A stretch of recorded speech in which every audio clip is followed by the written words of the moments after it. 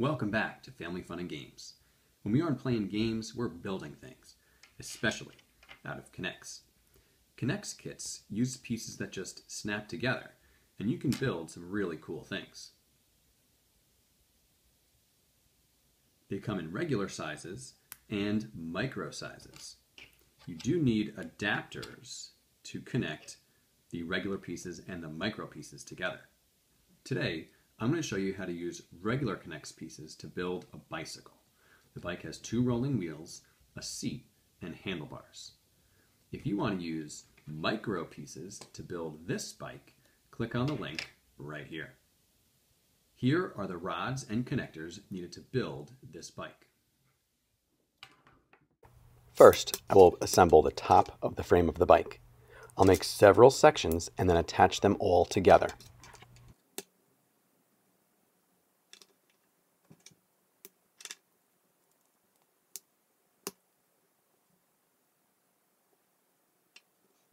Next, I will build the bottom of the frame of the bike, where the gears and pedals are, and attach it to the top part of the frame.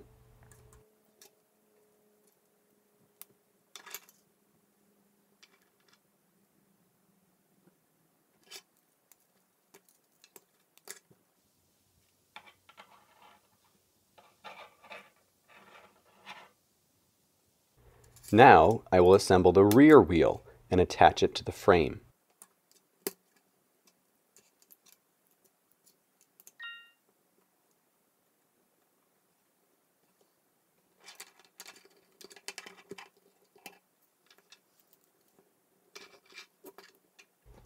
I will now build the front wheel and attach it to the front of the frame of the bike.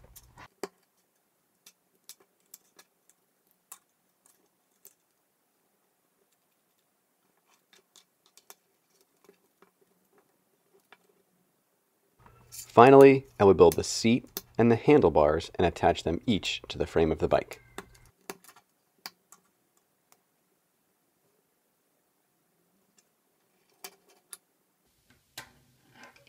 There you have it, a bicycle made of K'NEX pieces.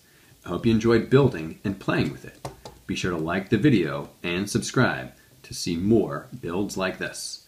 Thanks for watching.